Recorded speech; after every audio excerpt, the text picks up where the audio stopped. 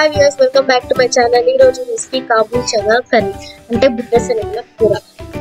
ఇది చపాతీ రోటీ దోశ పూరితో అంతా చాలా బాగుంటుంది. దీనికి కావాల్సిన ఇంగ్రీడియంట్స్ ఏంటో ఇప్పుడు చూద్దాం.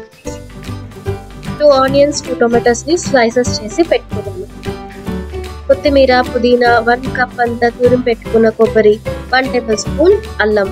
దీంతో పాటుగా చక్క ఏలకులు లవంగం బిర్యానీ ఆకు. ఇంకా పుట్ట సెలుగులు ఒక రోజు ముందే నానబెట్టుకున్నది. ఇప్పుడు ఎలా చేయాలో ఇప్పుడు చూసి తెలుసుకుందాం. ముందుగా నేను ఒక మిక్సీ జార్ తీసుకున్నా దీంట్లోకి ఆనియన్స్ టొమాటోస్ ఇంకా కొత్తిమీర పుదీనా కొబ్బరి స్పైసెస్ అన్ని యాడ్ చేసుకున్నాను. ఇప్పుడు దీనిలోకే మనం టూ టేబుల్ స్పూన్ ధనియాల పొడి హాఫ్ టేబుల్ స్పూన్ కారపొడి కొంచెం పసుపు ఉప్పు వేసి మిక్సీ చేసి పెట్టుకోవాలి. ఇప్పుడు ఒక ప్రెషర్ కుక్కర్ తీసుకుని దానిలో ఆయిల్ వేసి వేడయ్యేంత వరకు పెట్టుకోవాలి. ఆయిల్ హీట్ ఎక్కిన తర్వాత దీనిలోకి సాసువులు వేసుకుందాం. ఇప్పుడు సాసులు చిట్లిన తర్వాత దీనిలోకి మనం ముందుగానే గ్రైండ్ చేసి పెట్టుకున్న మిక్చర్ అంతటిని యాడ్ చేసుకోవాలి. ఇది బాగా ఒక బాయిల్ వచ్చేంత వరకు వెయిట్ చేయాలి.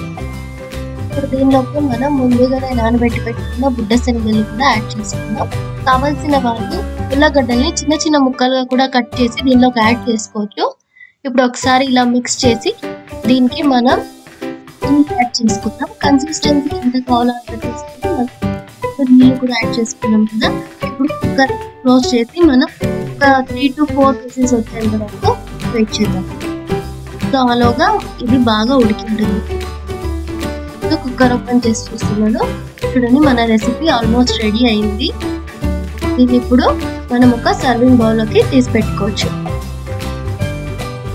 ఇది చాలా ఫాస్ట్గా అవుతుంది. సో ఎవరైనా ఈజీగా చేసుకోవచ్చండి ఇంట్లోనే. ఇది చపాతీ రోటీ పూలి దోశకి చాలా బాగుంటుంది. ఇప్పుడు దీనికి గార్నిషింగ్ కోసం చిన్నగా కోసి పెట్టుకున్న కొత్తిమీర కూడా దీనిపైన జల్లుకుందాం. సో గార్నిషింగ్ కూడా అయిపోయింది.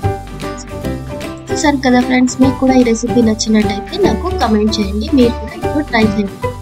నా ఛానల్ని ఫస్ట్ టైం చూస్తున్నప్పుడు సబ్స్క్రైబ్ చేసుకోండి లైక్ చేయండి షేర్ చేయండి.